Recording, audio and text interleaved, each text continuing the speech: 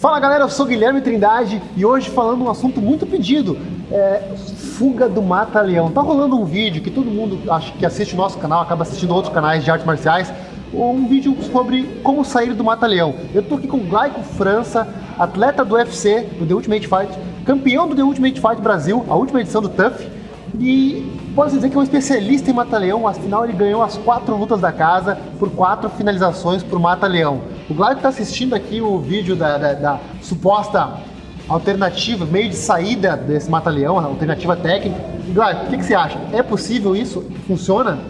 É, eu acredito que essa defesa aí que, que o nosso amigo aqui passou no vídeo, ela não é muito eficaz, não. Não é muito eficaz, né? Até porque ele não está aplicando o mata-leão, né? O, o, o rapaz que está aplicando já está aplicando o golpe completamente incorreto, né?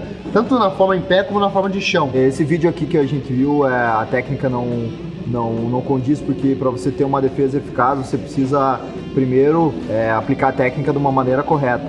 E aí sim você vai saber se essa defesa é eficaz ou não.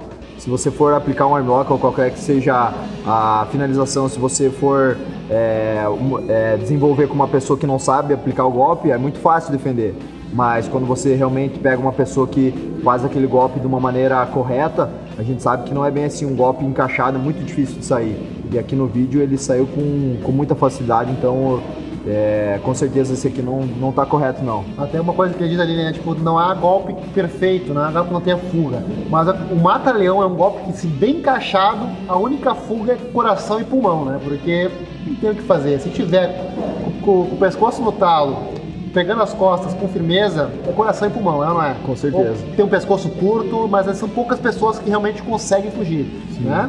É, o matalhão, depois de bem encaixado, você nas costas, quando você espalha o frango, você deixa o teu oponente com o quadril dele bem baixo, espalhado no chão.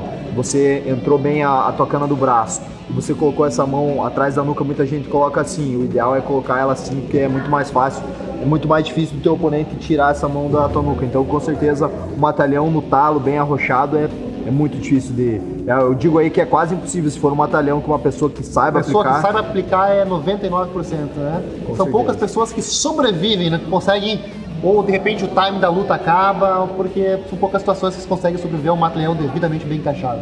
Com certeza. Beleza, galera? Se quer conferir como se aplica um mata-leão corretamente, assista o nosso próximo vídeo, como aplicar um mata-leão de verdade.